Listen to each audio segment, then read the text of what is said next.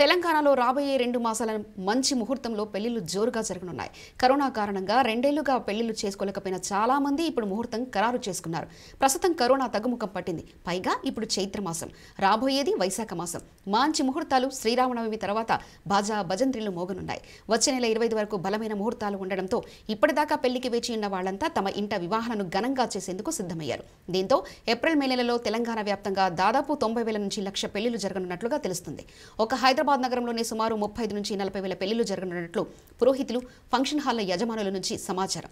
దీంతో function హాళ్ళకు demand బాగా పెరిగింది. ఇప్పటికే ఫంక్షన్ హాల్ అన్ని బుక్ అయ్యాయి. నగరంలోని కొన్ని ఫంక్షన్ హాళ్ళలో ఉదయం పెళ్ళి సాయంత్రం రిసెప్షన్కు బుకింగ్ చేసుకుంటున్నారు.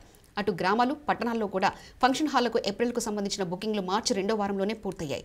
ఇవే కాదు నగరంలోని పలు హోటళ్ళు కూడా బుకింగ్ అయిపోతున్నాయి. సొంతుల నుంచి వచ్చే బంధువుల కోసం హోటల్ గదులు బుక్ చేసేస్తున్నారు. పెళ్ళిళ్ళ సీజన్ వస్తుండటంతో ఇప్పటికే శుభలేఖలు అచ్చివేసే ప్రింటింగ్ ప్రెస్లు వస్త్ర దుకాణాలు సందడిగా కనిపిస్తున్నాయి. అటు ఫోటోగ్రాఫర్లు వీడియోగ్రాఫర్లు పురోహితులు మేకప్ మెన్లు బంగారం వ్యాపారులు క్యాటరింగ్తో సహా దాదాపు ఇరవై రకాలకు చెందిన వారు బిజీ అవుతున్నారు.